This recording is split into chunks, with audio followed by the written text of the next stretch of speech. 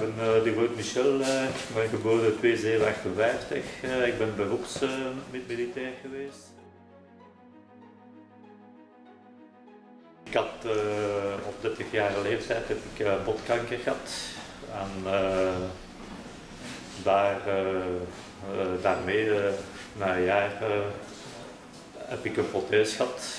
En uh, dat was natuurlijk een moeilijke weg in het begin, want dat was volledig een nieuwe wereld dat je terechtkomt, met veel beperkingen. Maar gelukkig met, de jaren is dat natuurlijk wel verbeterd in algemene prothese, maar nog niet genoeg uh, in feite voor mij, want die beperkingen blijven. En hier uh, aan de WUB zijn ze bezig met die prothese, waar dat toch in mijn ogen veel in zit. Maar natuurlijk, dat, val, dat ik veel tijd. Maar ik denk wel, en ik heb wel de neiging dat, dat ze serieus op de goede richting zijn. Waar dat ik ook bepaalde interesse had, want met, mijn, met mijn prothese ben ik toch tamelijk beperkt. En uh, ik was benieuwd, zeker was de mogelijkheden, toekomst gezien, wat zou mogelijk zijn dat ik zou, meer zou kunnen doen. Momenteel uh, heb ik wel uh, die ondervinding gehad dat dat zeker was de elf meer. Bijvoorbeeld die ellingen met mijn eigen prothese kan ik niet of heel moeilijk. Hier gaat dat zeker was veel vlotter.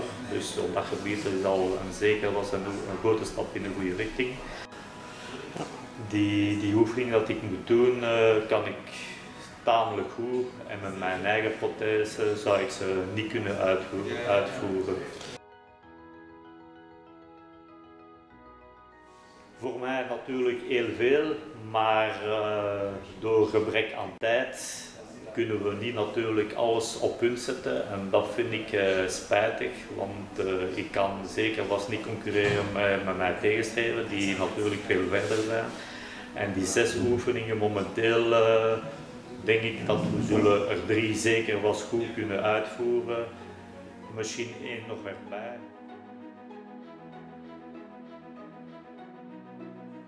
Verwacht natuurlijk heel veel.